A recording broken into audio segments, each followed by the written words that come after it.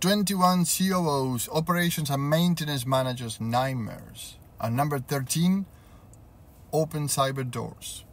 One weak password can wreck the whole operation. Think one login doesn't matter? Hackers only need one.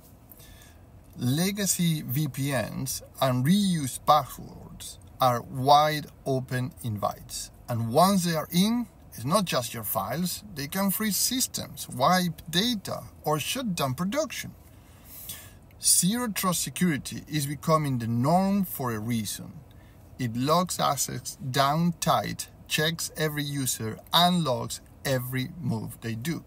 Some manufacturers wait to act until after the breach. That's when the fines, downtime, and cleanup bill sheets. The smarter move secure it now, quietly, so you are not fixing it later, loudly and expensively. Can you imagine a total control over assets, operations, and compliance? If you want spreadsheets and data silos and bad passwords become part of the history of your company, message me for a 30 minute strategic assessment